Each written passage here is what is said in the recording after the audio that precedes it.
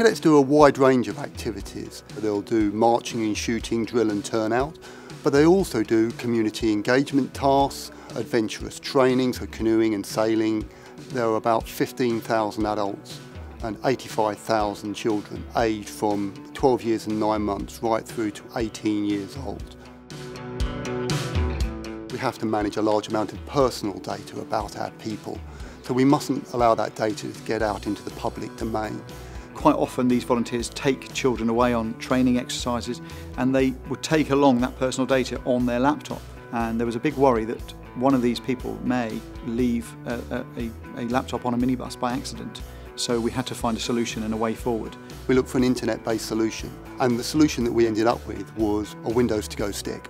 Anyone who has a requirement will have a personal logon which ensures that their data is secure, encrypted and safe. And it means that our personal data can be moved around and utilised wherever they go, but the data is secure. We might need access to next of kin information, so we might need to call the parents. We use it to look at dietary needs, medical record to ensure that what we're doing is safe and we have the best nature of the kids at heart. The device itself uh, is very easy to use. You can plug it into any device that is approved for Windows 7 or, or Windows 8. So you can just turn the machine off, put the stick in, boot it up and, and you're off and running. They've also given us all the tools we require, such as Microsoft Office. So we now have access to Word, Excel, PowerPoint. In my pocket, I have a computer with all my documents and all my information on it, wherever I'm going to go. So actually, it makes it easier for me to not have to worry about losing anything and knowing that actually everything I have is, is secure and safe. It works out about £100 per device. If we'd gone down the solution of providing a thin client laptop to every single person, we're looking at three or four hundred pounds. So in, that aspect, it is very good value for money.